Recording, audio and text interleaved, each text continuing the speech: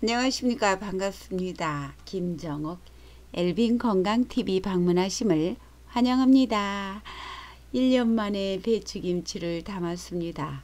1년 만에 정말 딱 1년 만에 김장하고 한 번도 안 담았어요. 아, 너무 비싸갖고 여름에 담으려기도 못 담았어. 황금 배추라 가지고 다른 김치로 대체를 하고 살았습니다. 그래서 어, 좀 요즘에 싸졌더라고요. 근데 세일해서 싸게 산 거예요. 아주 폭이 큰 거는 아니고 어 그런데 어 요거를 제가 이제 배추김치 뭐 다 담을 줄 알겠지 모르신 분 어디 있겠어요. 그렇지만 드릴 말씀이 있어요. 꼭 중요한 거예요. 제가 저 막 벌레 똥 있는 거 막 저런 게 있어요. 그리고 벌레도 있어요. 일부러 저는 저런 거를 삽니다. 벌레가 하나도 없는 거는 농약을 많이 친 거예요. 여러분도 참고로 하시고 계세요. 어, 민달팽이도 있어요. 그래서 어, 한번 헹궈 가지고 어, 이제 했는데 절궜는데요. 겉잎은 꼭 시래기 해서 된장국 끓여 먹고요. 저렇게 어, 네 개로 만들어서 두 개나 네 개로 만들어서 하는데 소금을 풀어 가지고 어, 저기다가 녹여서 어, 목욕을 배추를 저렇게 한 번씩 식혀 갖고 어, 큰 다라에다가 넣고 이제 두꺼운 데만 뿌려주면 돼요. 저렇게 절구는 건 저런 식으로 절구면 되고요. 음, 다 절근 다음에 남은 물 위에다 가볍게 뿌려주면 됩니다. 아, 그렇게 하고 중간에 이제 한 번씩 어, 양념 준비하는 동안에 절거지면 뒤집으면 되는데요. 어, 뒤집어서 한, 한 서너 시간, 4시간 정도 되면 다 되더라고요. 근데 이제 소금을 이제 배추 크기에 따라서 다를 수도 있으니까 어, 너무 마냥 놔둬버리면 푹 죽어버려요. 너무 확 주, 숨이 죽어버리면 더 맛이 없어요. 또 저렇게 겉잎은 어, 삶아갖고 씻어서 이렇게 냉동실에다 넣어놨다가 된장국 끓일 때 드시면 정말 좋아요. 저게 파란 잎이요. 영양가가 엄청 많아요. 속에 노란 것보다. 근데 김치는 이제 아, 겉잎은 먹기가 그러니까 저렇게 해서 양념을 준비하는데 찹쌀 가루나 멥쌀 가루도 괜찮아요. 밀가루만 안 쓰면 돼요.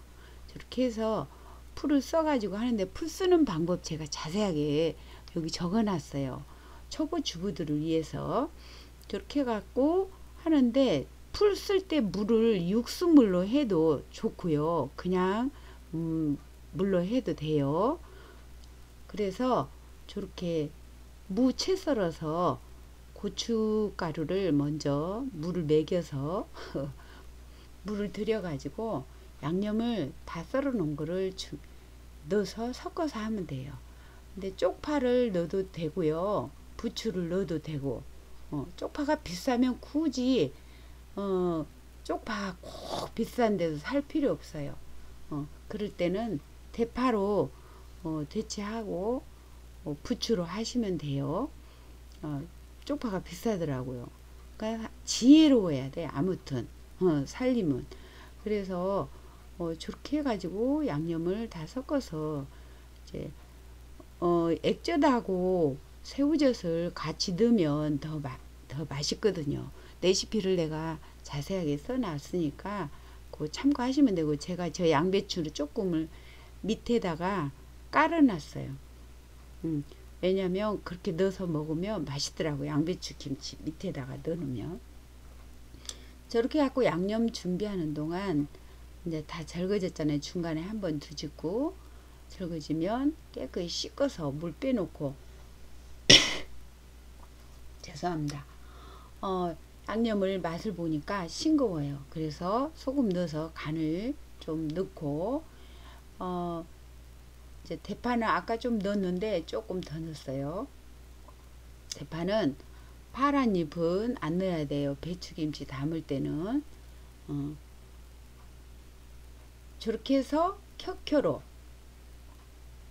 이제 양념을 넣으면 돼요. 간을 다 그 소스에다가 친 다음에 저렇게 해서 이제 김치통에 담아서 김치통에 담아서 김치 냉장고에 드시면 되는데요.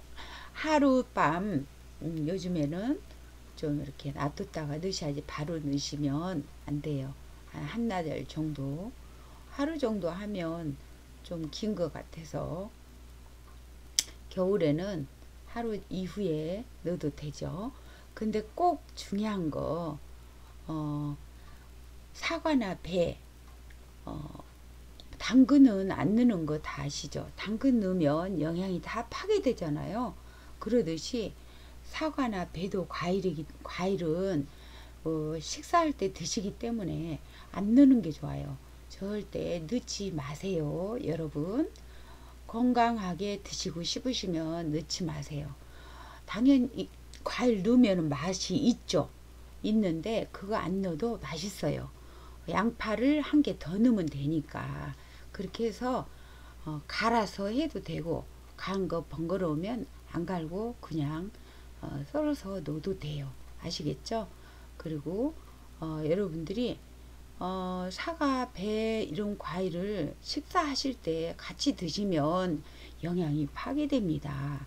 그래서 식후에 먹지 말라 그러잖아요. 식전에 30분 이전에 1시간 30분 이전에 적어도 과일을 드시고 그리고 식사를 하셔야 되거든요. 건강을 위해서 꼭 식사하실 때 같이 먹는 김치 절대 거기에다가 과일 넣지 마세요.